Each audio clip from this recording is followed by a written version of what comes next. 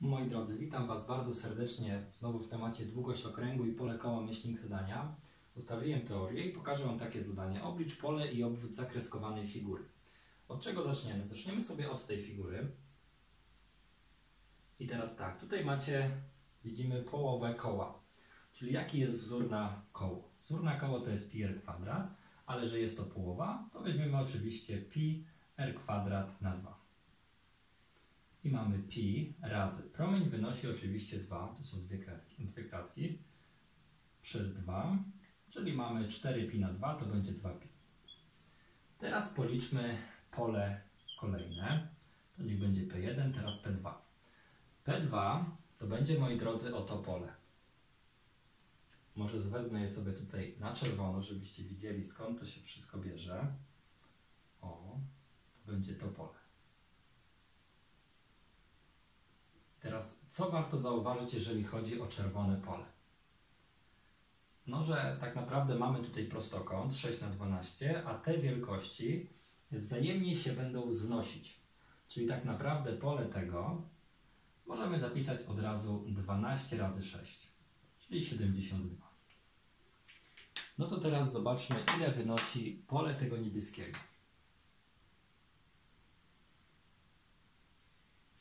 Pole niebieskiego, czyli pole trzecie, równa się. Tutaj mamy oczywiście 6, czyli w promieniu będzie 3 i wzór będzie taki sam. Tylko weźmy sobie jakieś inne r. Pi r kwadrat na 2, czyli będzie pi razy 3 do kwadratu na 2. 9 na 2 to 4,5 pi. No i teraz, jeżeli chcemy policzyć pole całości, czyli pole e, całości tej zakreskowanej figury, no to będziemy sobie oczywiście dodawać, czyli mamy tak. 2pi dodać 72 dodać 4,5 pi. Czyli to będzie, moi drodzy, 72 plus 6,5 pi. I tutaj zadanie jest wykonane. Teraz, moi drodzy, jak policzyć obwód? No, obwód będzie tutaj też dosyć ciężko. Zaczniemy sobie oczywiście od tego. To będzie nasze L1. I widzimy, że mamy tutaj, moi drodzy, połowę koła. Czyli korzystamy sobie z tego wzoru na przykład pi d na 2. Czyli piszemy pi d na 2 równa się pi razy ile wynosi obwód koła, ile wynosi średnica. Widzimy, że tu mamy raz, dwa, trzy, cztery kratki. Cztery kratki na 2, czyli mamy 2 pi. Teraz policzmy sobie obwód tej czerwonej figury. No i tutaj też będzie dosyć ciekawie. Dlaczego? Dlatego, że na pewno mamy 6, 12, 6, ale tutaj mamy 12 odjąć 2, czyli 10, czyli zapisujmy to wszystko. 6 plus 12 plus 6 plus i tutaj będziemy mieli jeszcze 10. Dodać. I teraz tak, tutaj mamy dwie połówki. Zobaczcie, tutaj mamy jedną połówkę koła, a tutaj też mamy drugą połówkę koła. One wzajemnie dadzą koło. I teraz ile wynosi obwód tego koła? No oczywiście pi d.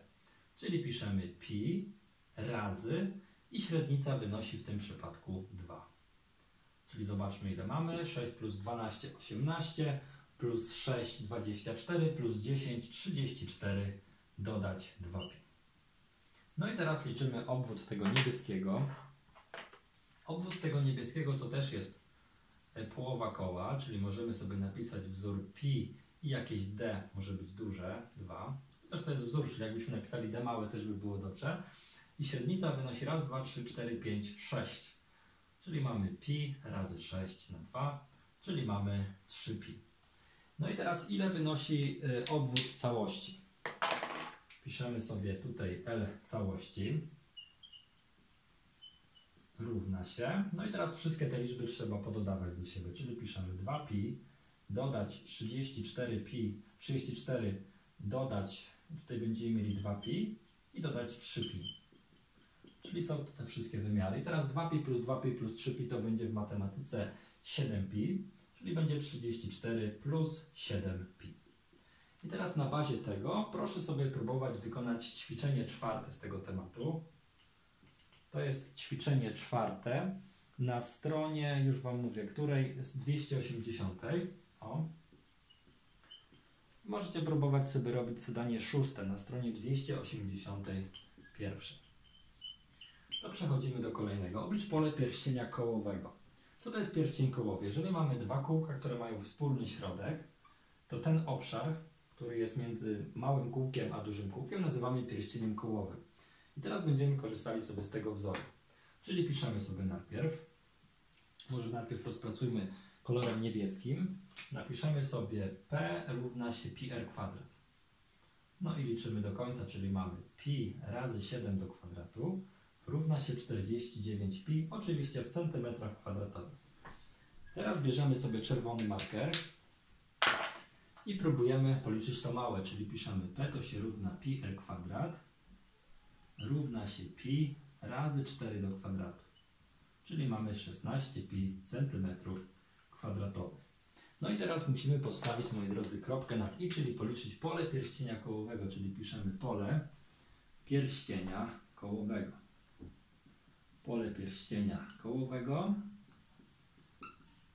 to jest w matematyce 49pi odjąć 16pi równa się 33pi centymetrów kwadratowych. I teraz y, proszę, żebyście spróbowali zrobić ćwiczenie piąte na stronie 280. Stronie 280. Y, I możecie dorzucić sobie do tego zadanie dziewiąte na stronie 282. Tutaj damy jeszcze gwiazdkę do zadania 10 na stronie 282. I moi drodzy, na tej lekcji to by było na tyle. Dziękuję za Waszą uwagę. Do usłyszenia.